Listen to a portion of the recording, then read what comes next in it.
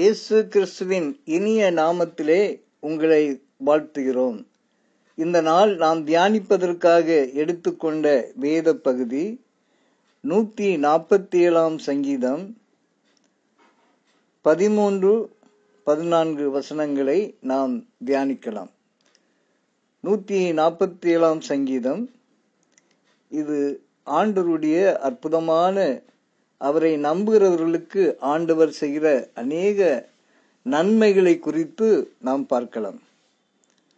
ஆண்டவருடைய பிள்ளைகளாகி நாம் செய்ய வேண்டிய காரியம் என்ன? அவருக்கு பயந்து அவருடைய கிருபைக்கு காத்திருக்க வேண்டும். பதினோராவது வசனம் இவ்விதமாக சொல்லுகிறது. அதே அதிகாரம். தமக்கு பயந்து தமது கிருபைக்கு காத்திருக்கிறவர் மேல் கத்தர் பிரியமாயிருக்கிறார். ஆண்டவருக்கு பிரியமானவர்களுக்கு ஆண்டவர் செய்கிற நன்மைகளை ஏராளமாய் இருந்தாலும் இந்த சங்கீதத்தின் மூலமாக நாம் ஒரு சில காரியங்களை சிந்திக்கலாம். முதலாவது ஆசீர்வாதம் என்ன? அவருக்கு பயந்து அவருடைய கிருபைகளுக்கு காத்திருக்கிறவர்கள் ஆண்டவர் செய்கிற நன்மை என்ன என்று பார்த்தால் பதிமூன்றாவது வசனத்திலே அவர் உன் வாசல்களின் தாழ்பாலை பலப்படுத்துகிறார்.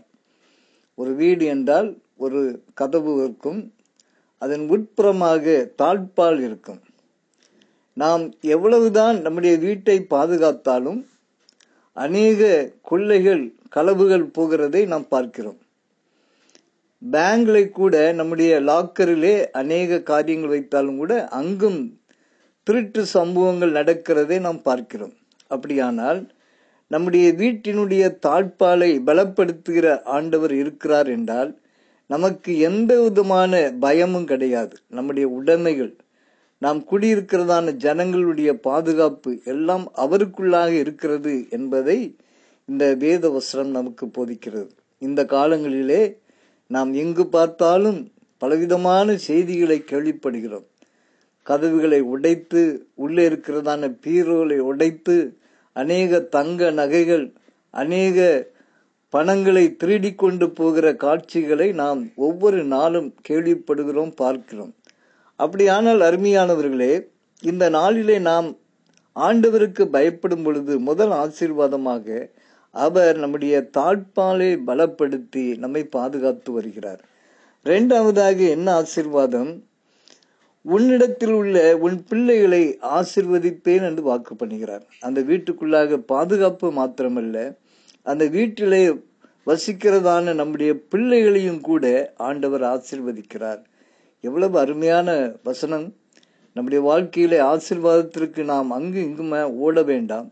வீட்டுக்குள்ளாகவே உட்கார்ந்து நாம் குடும்ப ஜபம் பண்ணி தேவனை நம்பி அவருக்கு பயந்து பரிசுத்தமாய் வாழும் பொழுது நமக்கு பாதுகாப்பு மாத்திரமல்ல நம்முடைய பிள்ளைகளை ஆண்டவர் ஆசிர்வதிக்கிறார். இன்னும் பதினாலாவது வசனத்தில் இவ்விதமாய் சொல்லப்பட்டிருக்கிறது அவர் உன் எல்லைகளை சமாதானம் உள்ளதாக மாற்றுவார். நம் ஒவ்வொருவருக்கும் ஒரு எல்லையை ஆண்டவர் குறித்து வைத்திருக்கிறார்.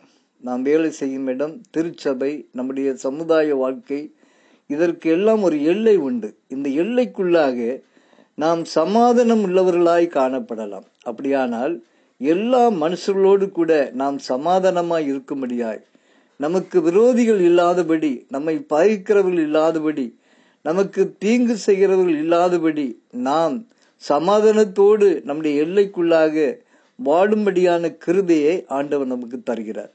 இதுதானே இந்த நாளிலே தேவை. கடைசி காலங்களிலே பயங்கரமான சம்பவங்கள் நடந்து கொண்டிருக்கும் வேளையிலே நம்முடைய எல்லைக்குள்ளாக ஆண்டவர் சமாதானத்தை தருகிறார். கடைசியாக அந்த வசனம் என்ன சொல்கிறது உசிதமான கோதுமையினால் உன்னை திருப்தியாக்குகிறார். ஆண்டவர் நம்மை திருப்தியாக்குகிறதான தேவன். இந்த நாட்களிலே அநேக மக்கள் திருப்தி இல்லாத ஒரு வாழ்க்கை வாழ்ந்து கொண்டிருக்கிறார்கள். ஒவ்வொரு நாளும் பொருளாசையிலே எனக்கு இருக்கிறதைகள் போதும் என்று சொல்லாதபடி அநேக பொருளாசை மற்றவர்கள் பொருளை இச்சிப்பது இப்படி அநேக காரியங்கள் செய்து ஆண்டவுடைய நாமத்தை அவர்கள் அறிந்தும் இன்னுமாக இச்சையான பாவத்திற்குள்ளாக விழுந்து தங்களை மாய்த்து கொள்கிற காலத்திலே நமக்கு ஒரு அருமையான ஒரு வாழ்க்கையை தருகிறார். அது என்ன வாழ்க்கை? திருப்தியான ஒரு வாழ்க்கை. அது உசிதமான கோதுமையினால் ஆண்டவருடைய மண்ணாவினால் நம்மை போஷிக்கிற தேவன். அருமையானவர்களே உலக பிரகாரமான கோதுமையினால் நாம் திருப்தியாக முடியாது. ஆண்டவர் வெளிப்படுத்துகிற காரியம் என்ன? ஆவிக்குரிய மன்னா ஆவிக்குரிய போஜனம் இதை தந்து நம்மை அவர் திருப்திப்படுத்துகிறார் நம்மை ஆசிர்வதிக்கிறார். ஆகவே நாம் செய்ய வேண்டிய ஒரே காரியம் கத்தருக்கு பயந்து அவருடைய கிருபைக்கு நாம் காத்திருக்க வேண்டும். அப்படியானால் இப்படிப்பட்டதான கிருபையை நமக்கு தருவதற்காக நாம் ஆண்டவருக்கு நன்றி செலுத்துவோம். தேவன் தாமே இந்த வசனத்தின் மூலமாய் நம்மோடு கூட இடைப்படுவாராக. உங்களையும் உங்களுடைய குடும்பங்களையும் ஆசிர்வதிப்பாராக. ஆமீன்.